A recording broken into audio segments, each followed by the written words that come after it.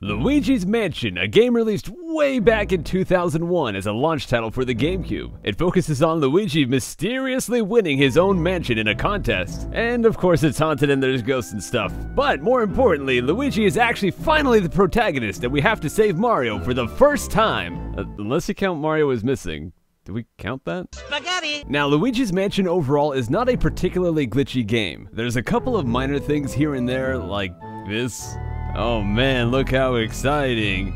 Woo! However, there is a series of tricks that allows you to beat the game very quickly, so that will be the focus of this episode of Glitchfest. And the game on its own is really not that long, you could beat it in a few hours, but you guys know Mario, that guy is so impatient. I mean, I put my controller down and 10 seconds later the guy falls asleep on me. So instead of taking a few hours, what do you say we beat Luigi's Mansion in just about 15 minutes? And one final note before we get started, this glitch is really hard, so unless you just really want to perform this glitch, I would recommend just watching and not actually actually trying to perform this one yourself. With all of that out of the way, let's get started. So the first step to this elaborate trick is just play the game. No, I'm completely serious. Just play the game. The first order of business is clear through the game until I get right before Chauncey, the first area boss. This is all standard gameplay, so I'm not going to show it in this video, but if for some reason you just really want to see this part, then there will be a link in the video description to parts 1 and 2 of my Let's Play of this game, which covers all the stuff I'm cutting out. Now, once I'm right before Chauncey, I'm actually going to go back to the foyer and save my game by talking to Toad. The reason for this is the first part of the trick happens right after we defeat Chauncey, and we only have one shot at it, so if I mess it up, I can reload the save rather than having to play all the way through the game back up to this point. Next, I go to the Chauncey battle, defeat him, and as soon as I beat him, I hold up right on the joystick. After completion of the boss, it teleports you into this room. I have to let go of the joystick before I walk too far, but not too soon. And if I do it just right, I will end up right behind the chest. Now here I decided to scooch to the right and grab this heart because I did take a bit of damage during the boss, and we do have to take some damage later on for the glitch, so I'd rather not die. Next, I have to be very careful because if I mess this up, I'll fall through the floor and be stuck in this room with no way to get out. Aside from resetting my game, of course. So what I do is I tap the vacuum button, and as Luigi puts the vacuum away, I push up on the joystick. If I push up too early while he's still vacuuming, that is what causes me to fall through the floor. But if I do this right, I'll get stuck halfway on one floor and halfway on another. It's kind of like a Luigi sandwich or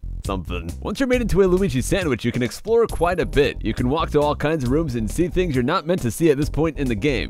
But we're more interested in actually beating the game, so let's go get to that. The next step is right here after I became a sandwich. I go into sidestep mode. Then I hold right to go all the way this way until I hit an invisible wall. At this point, I just hit A on the controller, which makes Luigi freak out just a little bit. It kinda looks like he's gonna be stuck in an infinite walk like this, but he won't be. After some time, he'll eventually open a door and go to the next room. While he's going through the door, I hold left on the C-stick because right when I get through, there's a ghost that can scare you. And if a ghost scares you while you're doing this glitch, it'll bring you back down to the floor and I'll have to start over. Holding left on the C-stick as I go through the door will make Luigi turn around the instant I get into the room. And his flashlight should stop the ghost from appearing. Now this next step is where things get really difficult. I get to here and then point my flashlight down. Then I inch towards these bats which will make them come towards me to hit me. Just before I get hit by the bat, I hit down right on the C-stick. And just as Luigi makes the sound from getting hit by the oh, bat, I let go of the C-stick. If all of this is done exactly right, Luigi will be standing at a very bizarre angle. Once I'm at this angle, I go to the top right corner, making sure to avoid this other bat, then I hold right on the analog stick and right on the C-stick. And if the angle I got from getting hit by the bat is sharp enough, I'll go right over this ledge into this next hallway. If your angle is not good enough, Luigi will not go over the edge here, and if that's the case, you can go back here and go through this door, then come back out, and the bats should respawn. Why do they get pulled back to the same spot when I open the door? Do they have no free will? Do I control their lives? What if the reason they left in the first place is so they could go save their baby from dying? Did I just completely ruin their family? Wait, they're ghosts. They're kind of already dead. Never mind.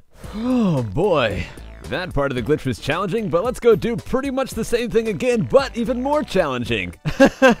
so I make my way down this hallway, walking backwards because once again there's a ghost that can spawn and scare Luigi, but from my experience, if you walk backwards down the hallway, the ghost won't scare you. Then I go to the left, grab some bats with my vacuum, and pull them over to this spot right here. Here's the hard part. I let go of the right trigger, quickly tap left on the joystick, then briefly hold right on the C-stick, all in sequence. And if done right, once again I'll have a bizarre angle. Afterwards, I go into standard standard mode and then using only the C stick, I point the flashlight towards the screen. Once I have this, I go to the top right, hold up on the joystick and up on the analog stick. Then I pause the game, switch over to standard mode, then I hold upright on the joystick, then while holding upright, I press A to hit continue on the menu, then I press X to open up my Game Boy Horror. If I do all this right, I'll fall through the floor into this spot in the basement. If I do it wrong, it might look like this, or I might fall into the center of this hallway, but what I'm looking for is to fall into the wall in this hallway. And this last part is the hardest part of all. This is really something I would not recommend you try, because it is a pain. You have to walk out of bounds and then walk up. The problem is if you walk too far to the left, you trigger a cutscene. If you walk too far to the right, then you get stuck. It is also extremely hard to see. The only way you can see is going first person on your Game Boy Horror. But if you do everything exactly right, you will end up inside King Boo's room, and then you can go and fight the final boss the exact same as a normal playthrough. Just walk right up to him, watch the cutscene, and kabam! You are fighting Bowser King Boo thing. And there we go, we've just completed Luigi's Mansion. And that's gonna be just about it for this episode, guys. Thank you very much for watching. Oh boy, that was a complicated one. Does anyone else have no idea what just happened? Anyways, if you want to watch a non-glitch playthrough of Luigi's Mansion, you can click that annotation to go to my playthrough. Or if you'd rather see more glitches, you can hit that one to go to some more Glitch Fest. Now, I know you can't tell which one I'm pointing to, but I am definitely pointing at my screen right now. The, the pictures. Just look at the pictures. You're good. And of course, there will be links down below for mobile viewers. Thanks for watching, and I'll see you next time. Take care.